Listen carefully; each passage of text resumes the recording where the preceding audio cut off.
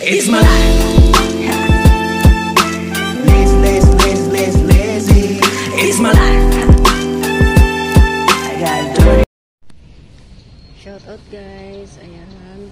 Lalabas na po tayong muli para kumuha tayo ng ating guyabano leaves. Ayan.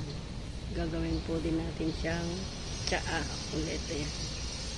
Kaya tara na mga kapatid. Ayan. Good morning, good morning sa inyo dyan.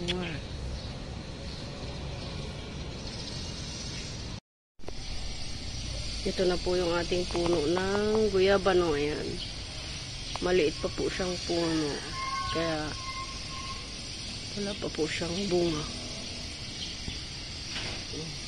Wala pa po siyang bunga. Maliit pa lang po siyang puno eh. Eh, meron na po pala siyang bunga. Ayun oh. Ayun. Nakikita niyo po ba mga kapatid? Ayun, yung bunga niya. Ayan, ayan, ayan. Ayan po yung kanyang bunga. Ayan. Yan, masarap din po yan pag nahinog yung kanyang bunga. Kukuha po tayo ngayon ng kanyang dahon. Leaves. Para gawin po natin siyang tsaa. Ayan. Kukuha po tayo ng kanyang dahon. Gagawin po natin siyang tsaa. Ito po siya, ito. marami din pong pwedeng gawin dito sa ating uh, guyabano tree. Ayan. Yung bunga po nito ay pwede rin po natin siyang kainin.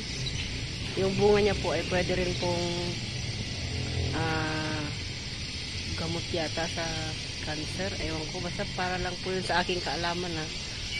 Ayan yung bunga niya po pwede daw po gamot yan sa cancer. Kaya kukuha din po tayo ng kanyang uh, dahon para gawin natin siyang tsaa. Gawin po natin siyang tsaa.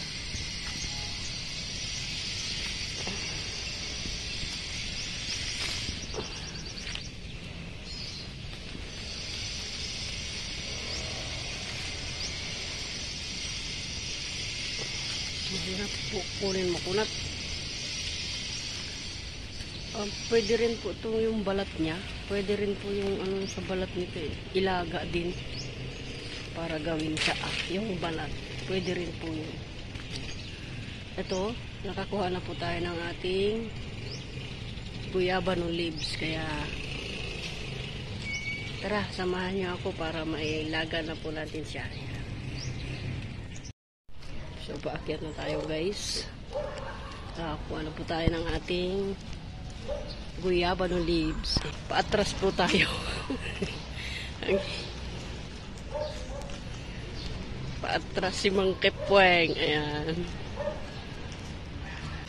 So, narito na po tayo. Tara, samahan nyo na po ako guys.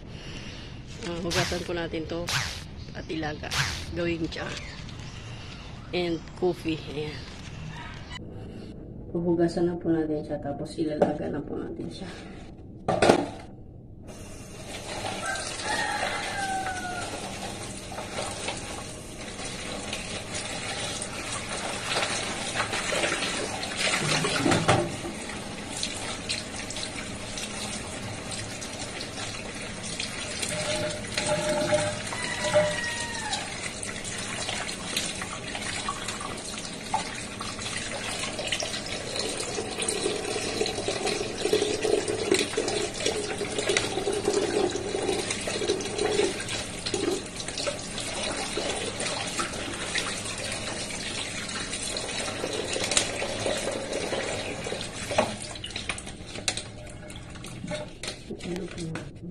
Kahoy. Dito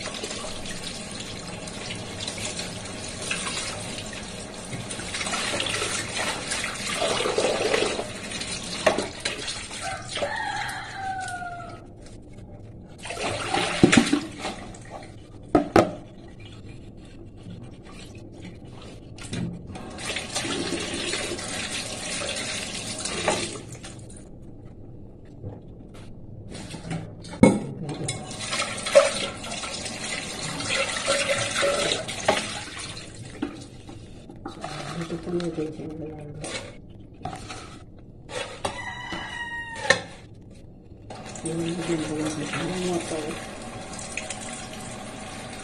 Maganda rin po talaga ito sa ating katawan. Ang guyaban leaves. Guyaban leaves. Eh. Nalaga na po natin siya.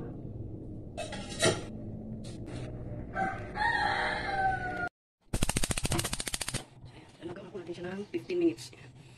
Madali lang naman kasi mahal yung dahon. Okay na po yung 15 minutes. Kayo po, kung ano yung gusto yung laga, pwede niyong gawin 20 minutes, okay lang naman po yun. Ang importante po ay malalaga po siya. Ito po po ang ating guyaba no, ayan. Pakuluan na po natin siya ng mahigit na 15 minutos. Ayan. Ilalagay na po natin siya sa ating tasa. Papatayin muna natin siya.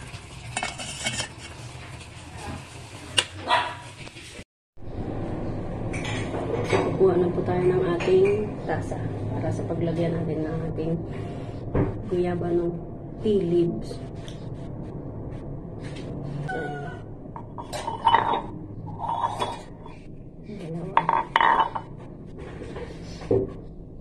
Ito na po, ibubuhos na po natin sa ating tasa. Ating guyaba ng leaves. Hmm, sarap. Ito po isa, lalagyan natin ng kape.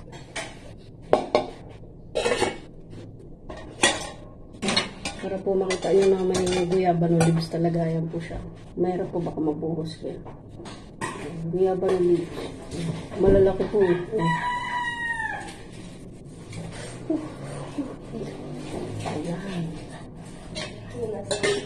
Hindi pa mahal. Ayan. So, ito po yung ating guyaba ng tsaka, tsaka ito gagawin natin coffee. Ayan. Lalagyan po natin siya ng kape.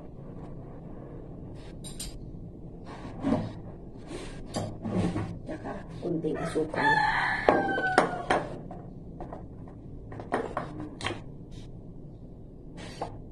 Ito po, kunting kape lang.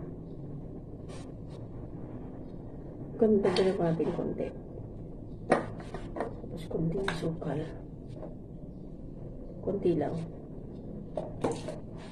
Halo po natin siya. Kasama na po yung dahon. Para po talagang malaman ninyo na may dahon niya ng sambong. Ay, ng, sorry, sorry, ng guyaba no. Nasanay po kasi ako sa dahon ng sambong. Ito naman po yung plain na tsaa. Plain lang ng guyaba no.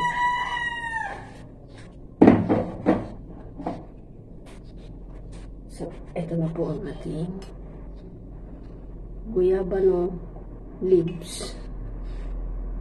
Guyabano leaves, tea, at saka coffee.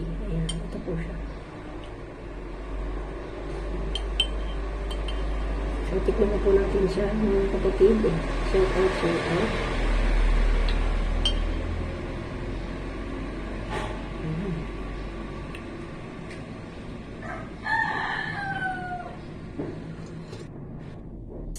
Sarap. Mm.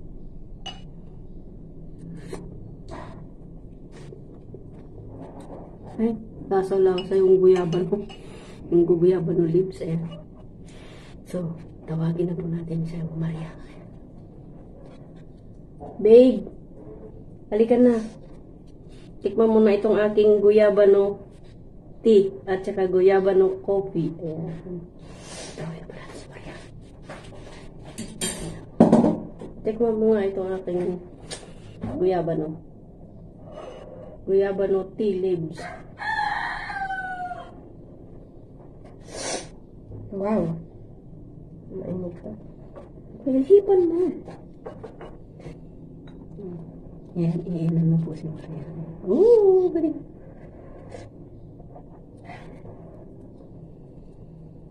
Walang lasa.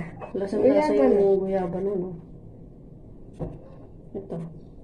Coffee. Hindi siya mapakla. Katulad ng ano, sambong at saka kamyas. Pero ang pinakamapait talaga po, yung mahogany. Yan, re-review na namin lahat ng tsaa.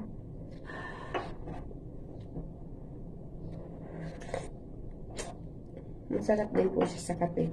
Ano mong di na lang natin na review? Ban yung banaba. Yung kiti kasi sugpaan. Yung sinakpakla ko.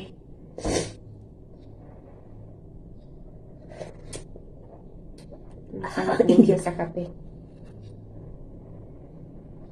Sarap mag-combine sa kape.